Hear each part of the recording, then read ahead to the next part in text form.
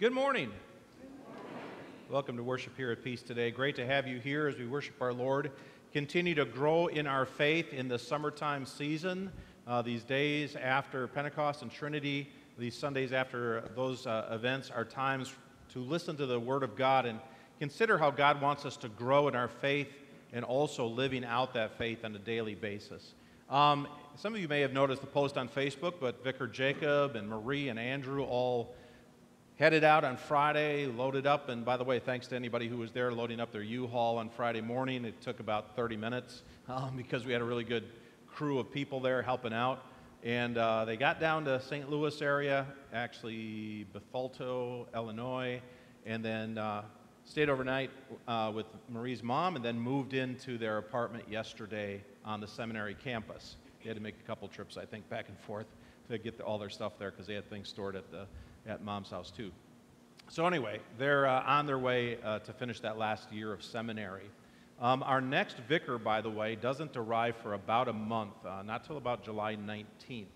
Um, so we have a little gap in there because Marie was pregnant and is due in July 12th to have their second baby down there in St. Louis. So, um, so a little bit of a break here uh, with vicars until uh, Vicar Bryce Clayton arrives with his wife Anna who will be our seventh and eighth grade teacher here at Peace.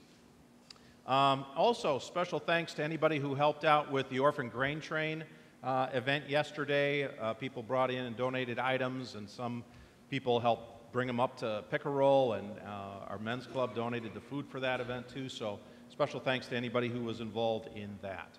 Um, there's some other announcements in your bulletin. Take a look at those. There's some family summer devotional kits still out on the table out there. Um, we have uh, uh, some other things happening. We have Bible study today as we do our Ray Vander Laan, Vanderland series on Egypt, and today it's the plagues that were sent on the Egyptians uh, that conv- finally convinced Pharaoh to let the people go. So if you'd like to be a part of that, that's right after the service today. Um, I think that's it for announcements. Let's stand and greet one another as we begin today's service.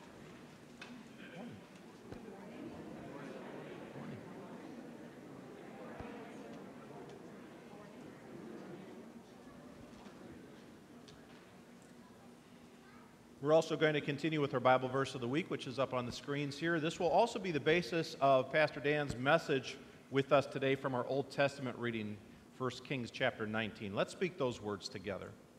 Behold, the word of the Lord came to Elijah, and he said to him, What are you doing here, Elijah? We begin this time of worship in the name of the Father, and of the Son, and of the Holy Spirit. Amen. You may be seated. Mm-hmm.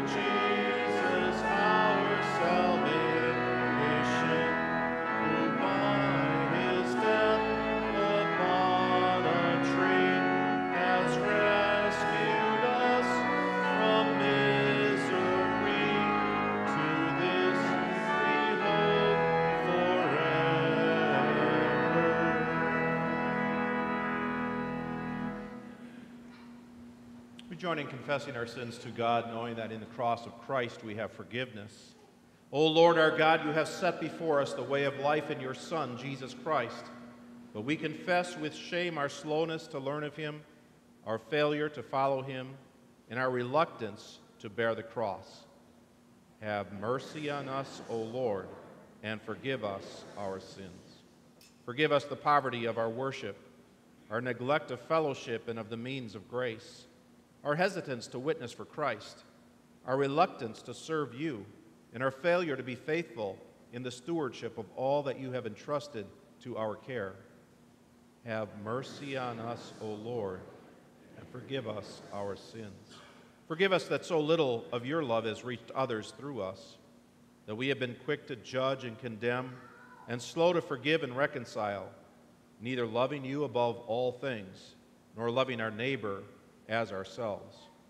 Have mercy on us, O Lord and forgive us our sins.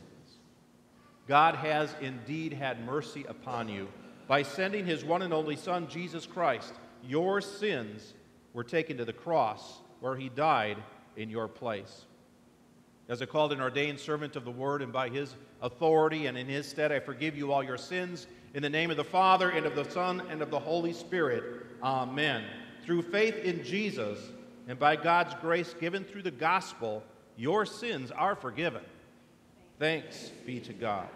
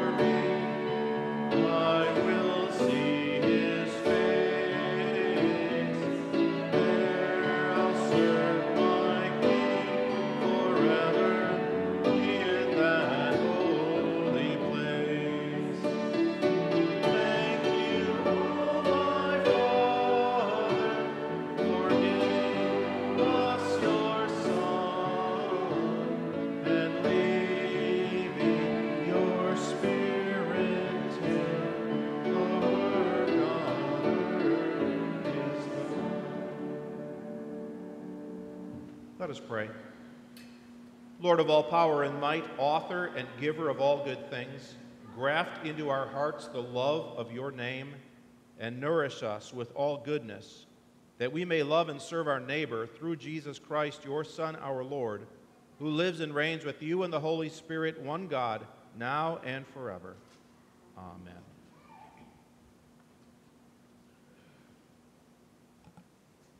As I mentioned, the Old Testament reading is the basis of Pastor Dan's message today from 1 Kings chapter 19, starting in verse 9.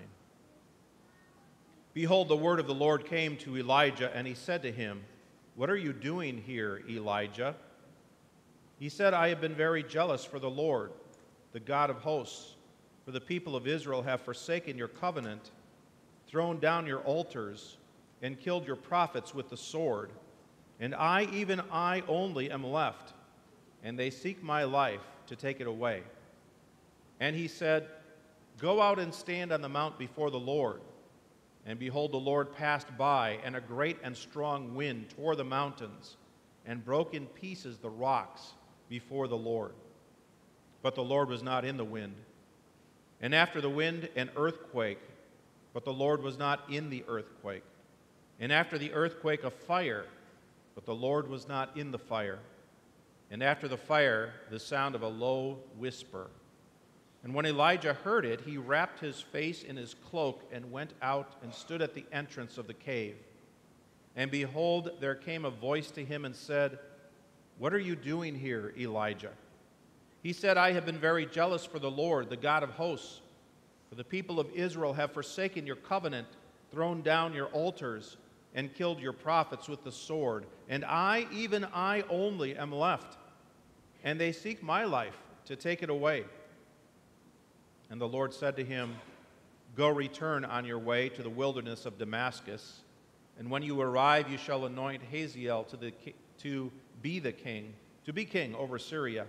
And Jehu the son of Nimshi you shall anoint to be king over Israel, and Elisha the son of Shaphat of Abel Meholah, and you shall anoint to be prophet in your place. And the one who escapes from the sword of Hazael shall Jehu put to death, and the one who escapes from the sword of Jehu shall Elisha put to death. Yet I will leave 7,000 in Israel, all the knees that have not bowed to Baal, and every mouth that has not kissed him. So he departed from there and found Elisha the son of Shaphat, who was plowing with 12 yoke of oxen in front of him, and he was with the twelfth. Elijah passed by him and cast his cloak upon him, and he left the oxen and ran after Elijah and said, let me kiss my father and my mother, and then I will follow you. And he said to him, Go back again, for what have I done to you? And he returned from following him and took the yoke of oxen and sacrificed them and boiled their flesh with the yokes of the oxen and gave it to the people, and they ate. Then he arose and went after Elijah and assisted him. This is the word of the Lord. Thanks be to God. In the epistle reading today from Galatians chapter 5, where Paul writes, For freedom Christ has set us free. Stand firm, therefore, and do not submit again to a yoke of slavery. For you are called to freedom, brothers, only do not use your freedom as an opportunity for the flesh, but through love serve one another. For the whole law is fulfilled in one word you shall love your neighbor as yourself. But if you bite and devour one another, watch out that you are not consumed by one another. But I say, walk by the Spirit, and you will not gratify the desires of the flesh. For the desires of the flesh are against the Spirit, and the desires of the Spirit are against the flesh, for these are opposed to each other, to keep you from doing the things you want to do. But if you are led by the Spirit, you are not under the law. Now the works of the flesh are evident sexual immorality, impurity, sensuality, idolatry, sorcery, enmity, strife, jealousy, fits of anger, rivalries, dissensions, divisions, envy, drunkenness, orgies, and things like these. I warn you, as I warned you before, that those who do such things will not inherit the kingdom of God. But the fruit of the Spirit is love, joy, peace, patience, kindness, goodness, faithfulness, gentleness, self control. Against such things there is no law. And those who belong to Christ Jesus have crucified the flesh with its passions and desires. If we live by the Spirit, let us also walk by the Spirit. This is the word of the Lord. Thanks be to God. I'm going to invite, invite our child care director, Jenny Weicker, up at this time, and we invite our children to also come forward at this time for our special children's message.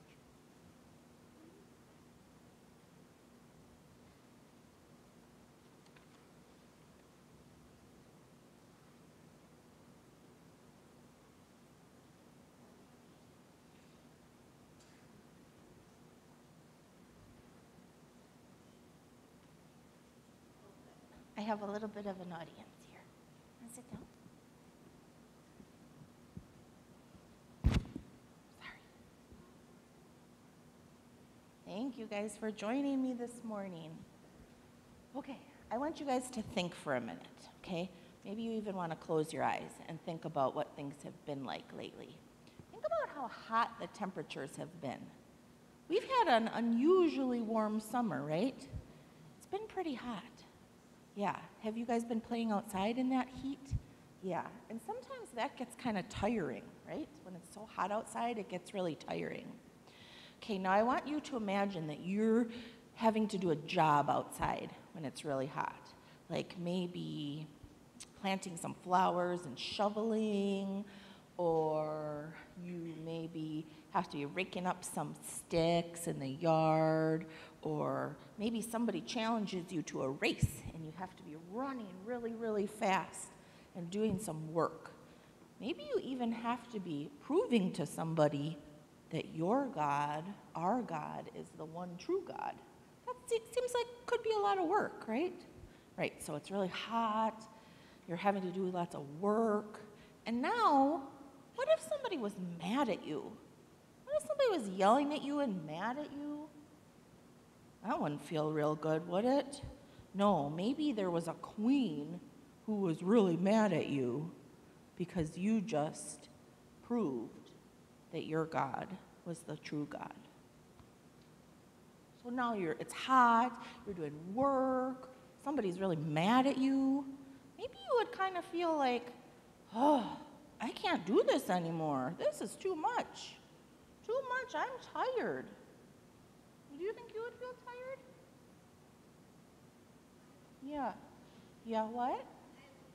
Highly too much. It's just too much. So maybe you wanted to get away. You had to get out of there and get away and get someplace where you could just be away from it all.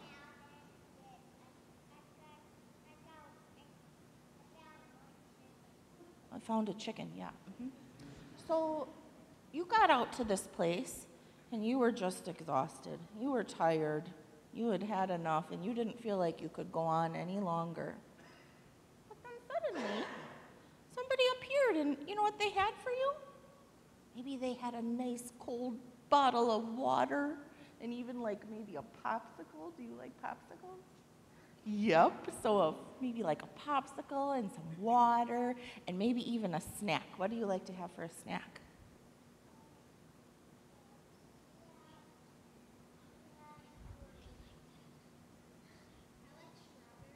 Chips or strawberries, yeah. So now here you got a nice cold bottle of water and some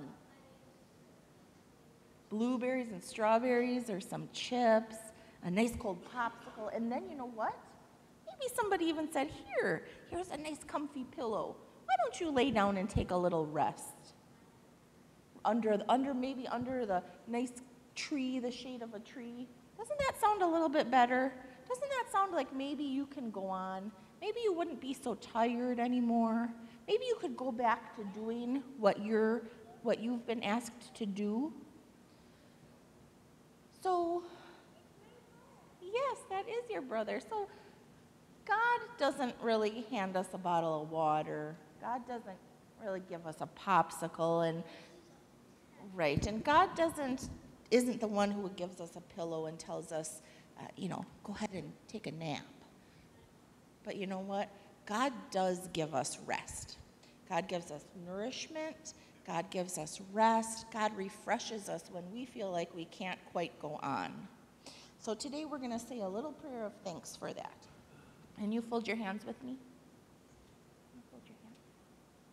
Dear God, thank you for always giving me rest and nourishment and refreshment so that I feel like I can go on. Thank you for being the one true God and for our salvation. Amen. All right, thank you guys. At the church is a little treat. You could stop and get a treat, and then you can go back to your seat.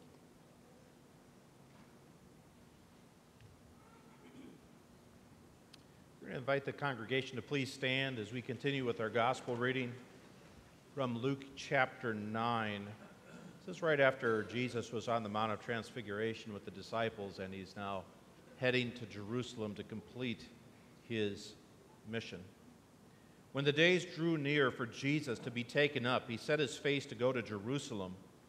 And he sent messengers ahead of him who went and entered a village of the Samaritans to make preparations for him.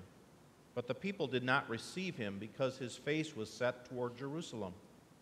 And when his disciples, James and John, saw it, they said, Lord, do you want us to tell fire to come down from heaven and consume them? But he turned and rebuked them, and they went on to another village. As they were going along the road, someone said to him, I will follow you wherever you go.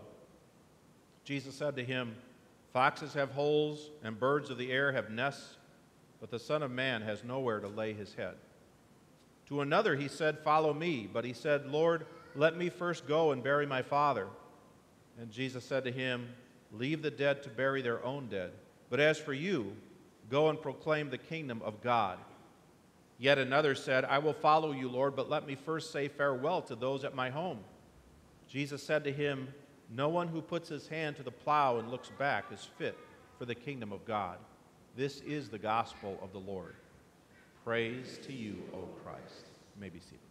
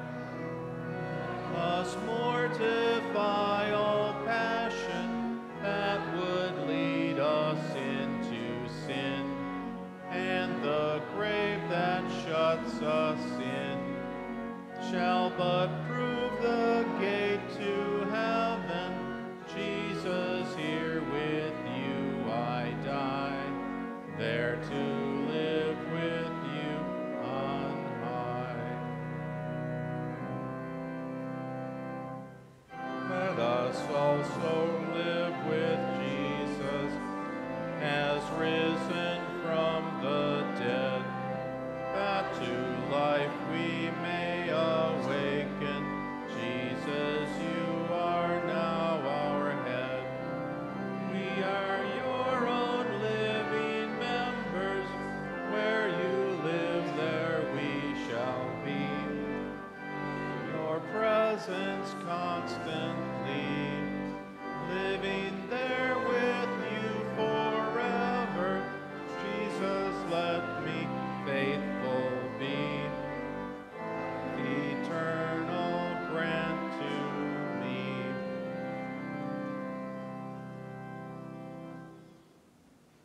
May the joy and the hope and the peace in Christ be yours again today.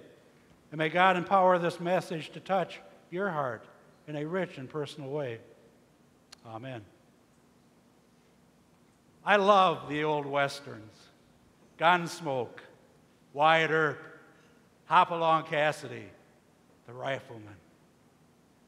You could always tell who were the good guys and the bad guys. You could always tell there's going to be a victory at the end when the good guys win. Today we have Star Wars and superheroes that portray that same kind of plot line. But to know the hero and to trust that that hero is going to win in the end is the key. I want to share a story this morning, an Old Testament story that follows that same plot line almost. Because right in the middle of the story, the hero begins to wonder and to doubt. Indeed, we find him in a dark valley in the middle of two mountaintop experiences. I want to talk to you today about the story of Elijah, the prophet chosen by God. We go back to 2 Kings 18 and find Elijah on the first mountain, Mount Carmel. And here he'll defeat 450 prophets, false prophets of Baal, and he will be victorious.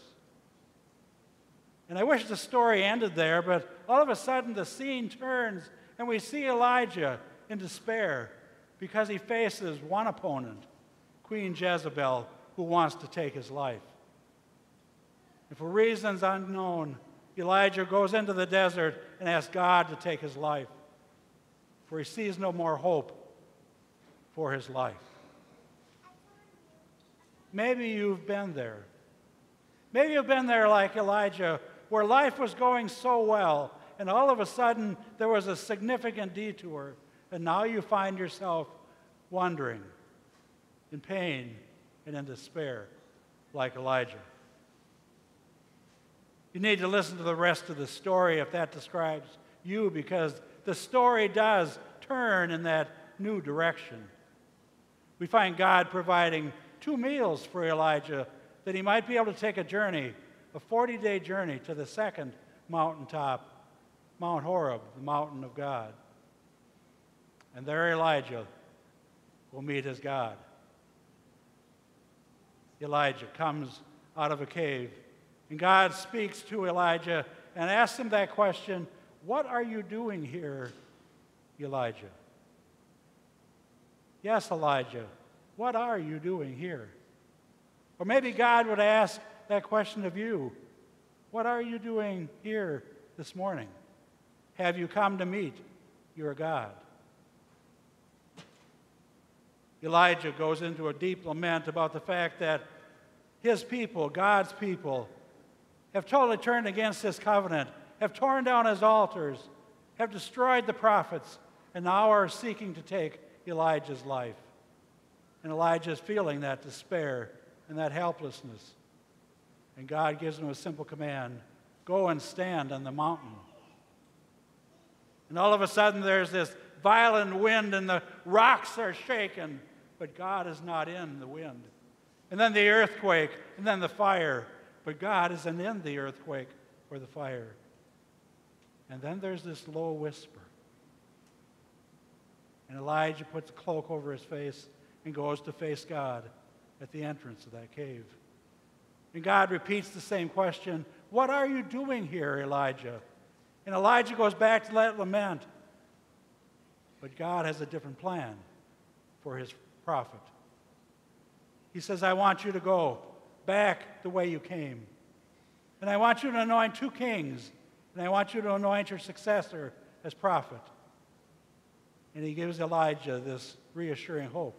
There are still 7,000 who have not bowed down to Baal you are not alone in this mission. You are not alone. The mission goes on. We have a remarkable mission here at Peace Lutheran. It's called Stephen Ministry, where we go out, not alone, but always with the guidance of the Holy Spirit, to reach the needs of those in despair, those like Elijah, who maybe have had their mountaintop experiences, but now find themselves in that deep, dark valley and they wonder, what do I do with my life now? Now that that medical crisis has hit, now that the divorce has taken place, now that I've lost my job, what do I do now? Who do I turn to? Or maybe a more important question they're burning in their heart Where is my God at such a time as this? They need someone to come to provide that comfort and that support and that encouragement. They need to hear the voice of God, that God would send someone in human form to share with them, to listen to them, to provide that assurance they don't stand alone because God is with them for such a time as this. Elijah had that deep lament. And I've heard that lament many, many times in my work as a counselor and as a pastor. And the Stephen ministers we have, we now have 12 trained Stephen ministers, hear that lament from the people they work with on a one to one basis. They hear the stories about the trauma in their life, the search in their life, the search for answers. And our trained Stephen ministers go one to one with them and provide that support and encouragement. Reminds me of my days when I was a counselor before I became a pastor. Did a lot of work with addicts, alcoholics, drug addicts, gambling addicts, pornography addicts.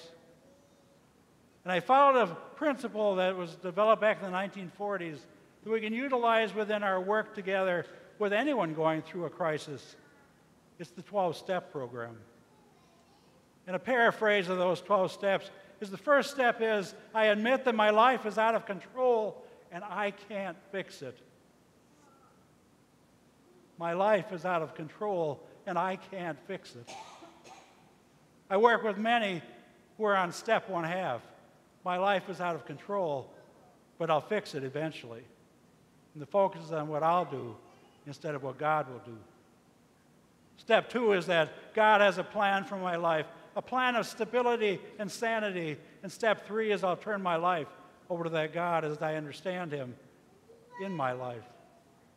And then, right at the center of the 12 step program is confession and absolution, where we admit to ourselves, to God, and another individual, the exact nature of the crisis we're going through, the trouble, the struggle, the questions, the uncertainty.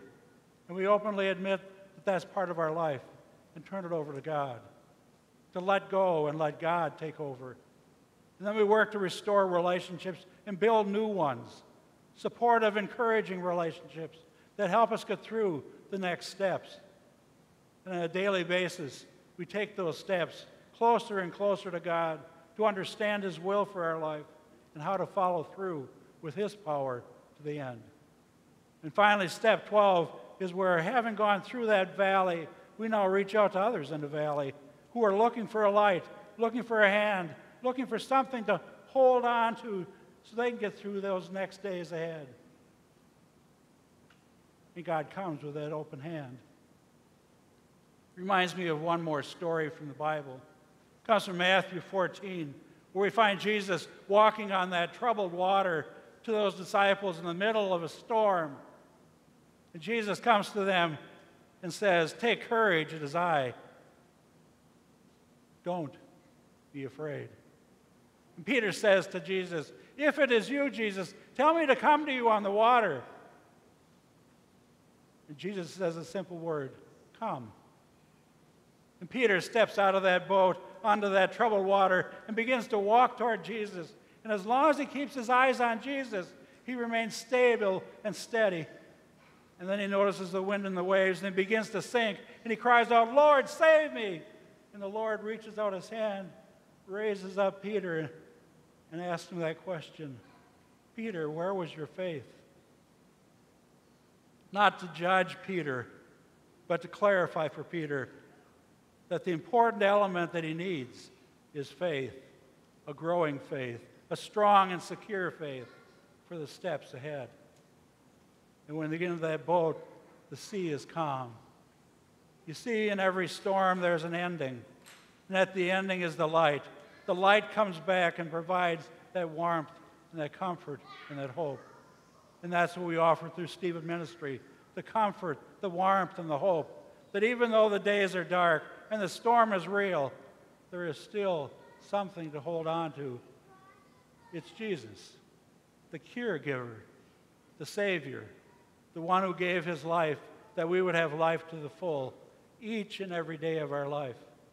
Yes, he calls us to that faith in the midst of our storm, that we would know that we're not alone. He's there. He's reaching out his hand.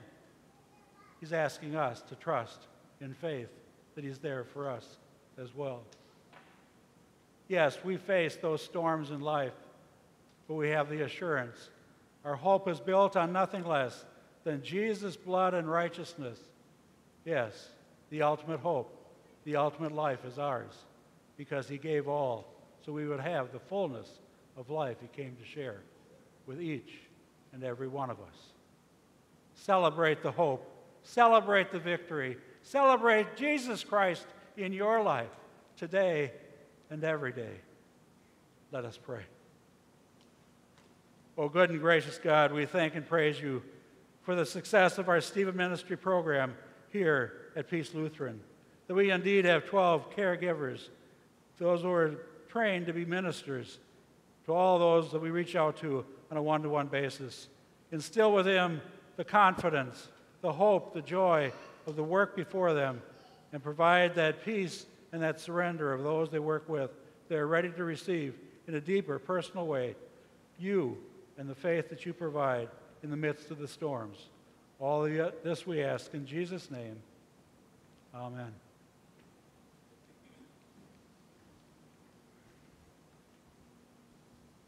Please stand as together we confess our Christian faith using the words of the Nicene Creed. I believe in one God, the Father Almighty, maker of heaven and earth, and of all things visible and invisible, and in one Lord Jesus Christ, the only begotten Son of God, begotten of his Father before all worlds, God of God, light of light, very God of very God, begotten, not made being of one substance with the Father, by whom all things were made, who for us men and for our salvation came down from heaven and was incarnate by the Holy Spirit of the Virgin Mary and was made man, and was crucified also for us under Pontius Pilate. He suffered and was buried, and the third day he rose again according to the Scriptures and ascended into heaven, and sits at the right hand of the Father and he will come again with glory to judge both the living and the dead, whose kingdom will have no end. And I believe in the Holy Spirit, the Lord and giver of life, who proceeds from the Father and the Son, who with the Father and the Son together is worshiped and glorified, who spoke by the prophets. And I believe in one holy Christian and apostolic church. I acknowledge one baptism for the remission of sins, and I look for the resurrection of the dead and the life of the world to come. Amen. You may be seated. So, a week ago, we finished Mission Antigo. And some of you are involved in that. I, I saw Vicar Jacob did, uh, showed some, some pictures up on the screen last week when he was uh, doing his final sermon and things. Um, we have a little video we want to show just of some of the work that was done for those of you that maybe missed that last week or um, didn't see some of those pictures. Um, and again, thanks to everybody who helped out in making a difference in our community as well as in some of the families within our churches. Um, so we're going to show that at this time, and then we'll also bring the offering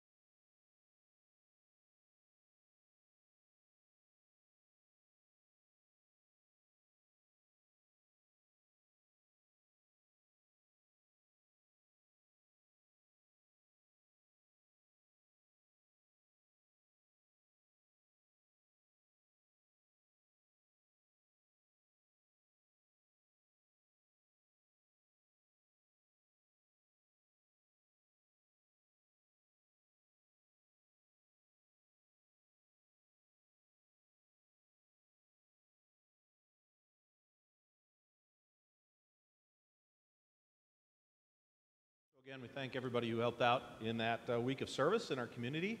Uh, special thanks, by the way, to Casey Smith and Asplin for the help of the big boom uh, truck and uh, uh, expertise in taking some of those trees down. Let's pray. Dear Jesus, we give thanks for the gifts that you give us daily in this life, and especially the gift of salvation through your cross and resurrection. May these offerings be used to continue your ministry here in this place through the work of our church and school and childcare ministry, as well as our mission work throughout this world. We give thanks, Lord, that we can partner together to accomplish your purposes. In Jesus' name, amen. We continue with our offering hymn.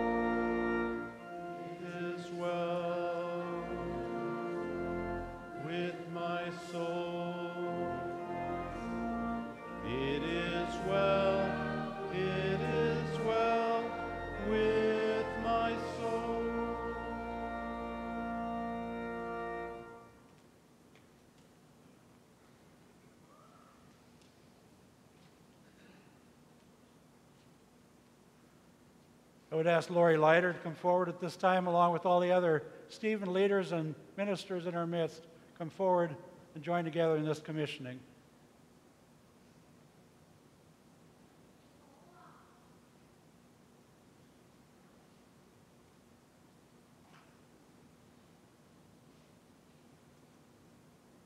As they're coming forward, just a reminder we continue to look for new Stephen ministers and Stephen leaders.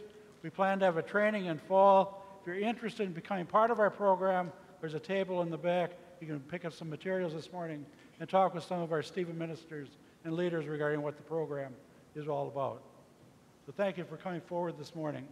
This is a special morning as we commission Lori Leiter as our newest Stephen leader in our midst this morning.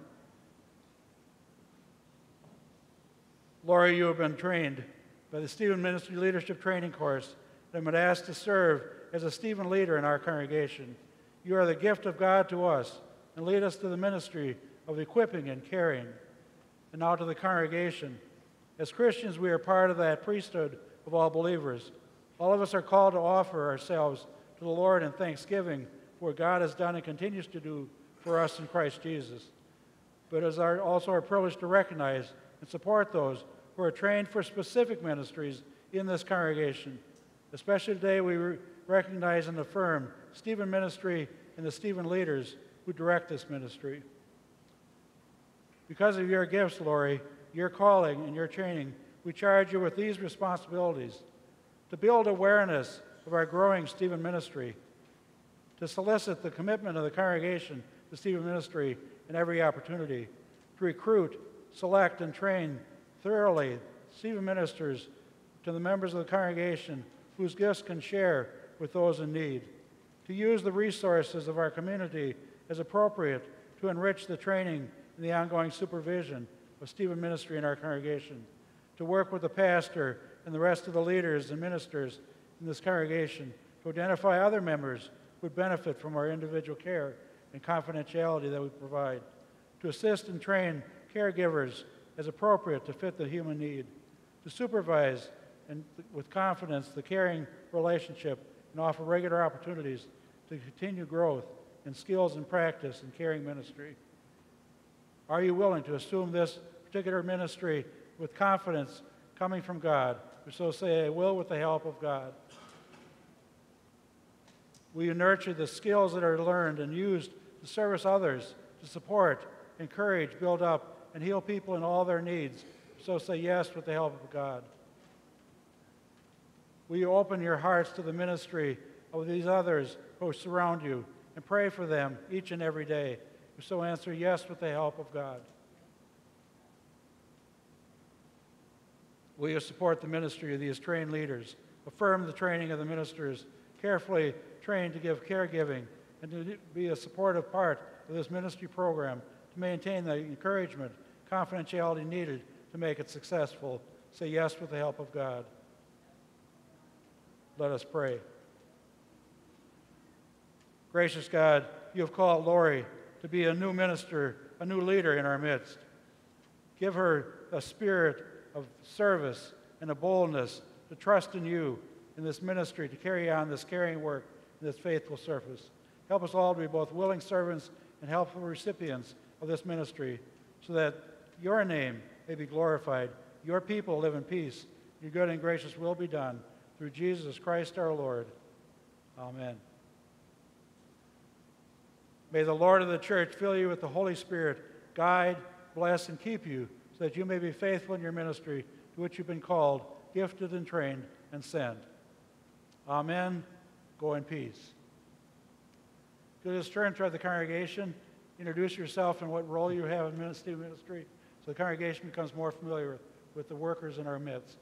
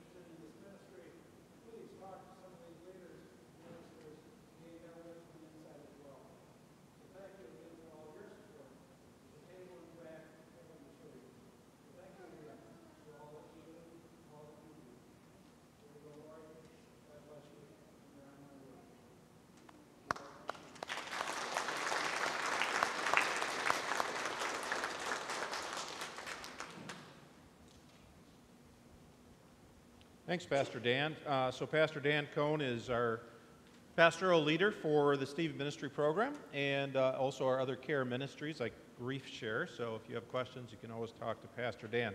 He's on staff here on Mondays, typically in the office. His office actually just moved recently, and now his office is kind of right next to my office, if you know where my office is, but in the newer, new part of the building. Um, you know, we. Uh, have our prayers in our bulletin today. We want to add a couple prayers to that list. One is um, a prayer for Matt Rayner, recovering from surgery. Matt is a member here at Peace.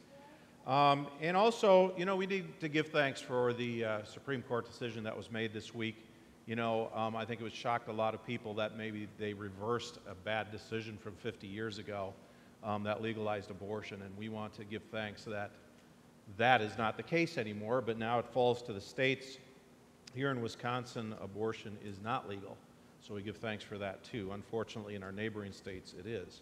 Um, so we still have a lot of things to pray about, think about, work towards, I think, as uh, people who honor God's design for life as He reveals it in His Word, which is from conception to the day He brings us home.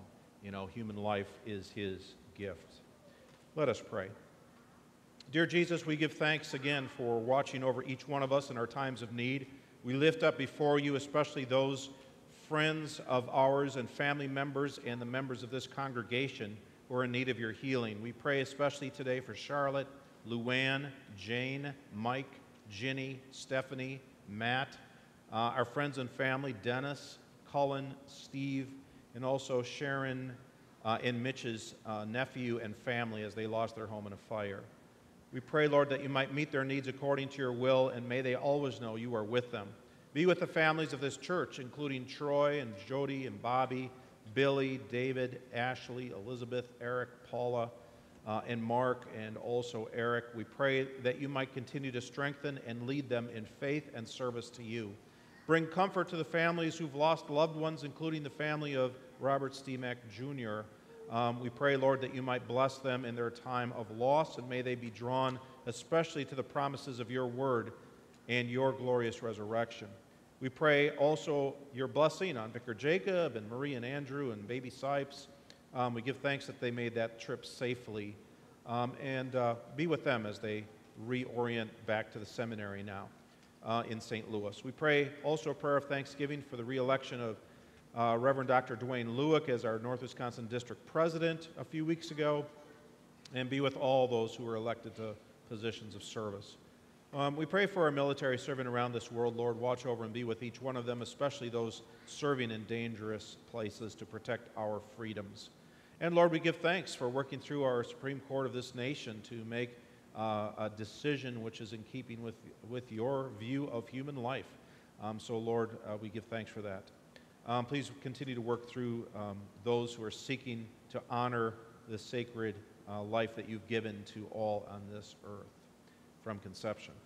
Lord God, other prayers that we may have in our minds and hearts, uh, needs at this time, as well as praises and joys, we lift them up before you and know that you hear each one of our prayers, uh, both out loud and those that we silently say. In Jesus' name we pray. Amen. Let us stand together as we pray the prayer which our Lord Jesus taught us. Our Father, who art in heaven, hallowed be thy name. Thy kingdom come, thy will be done, on earth as it is in heaven. Give us this day our daily bread, and forgive us our trespasses, as we forgive those who trespass against us. And lead us not into temptation, but deliver us from evil. For thine is the kingdom, and the power, and the glory forever and ever. Amen. Gracious God, as you send us out to be caregivers in this world, just as you cared for Elijah and others in Scripture, so we know you will care for us. And please help us also to bring that good news to those around us that you indeed are the God of hope and care. In Jesus' name, amen. And now receive the benediction of our Lord. May the Lord bless you and keep you. The Lord make his face to shine on you and be gracious to you. The Lord look upon you with his favor and grant you his peace. Amen.